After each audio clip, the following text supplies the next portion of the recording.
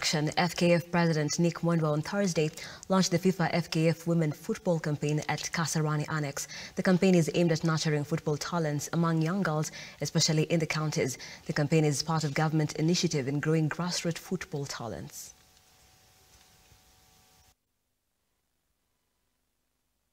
ya kuweza kuonyesha talanta zao kando na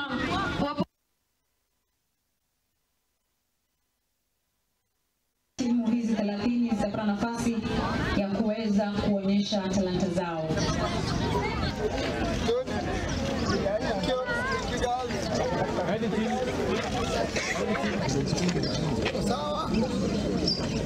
Thank you, girls. Thank you, thank you, girls. Nice. Today we are launching women football and campaigning for it in the entire country. Watoto wetu hawa mnaona hapa 9 years, 10 years, 11 years.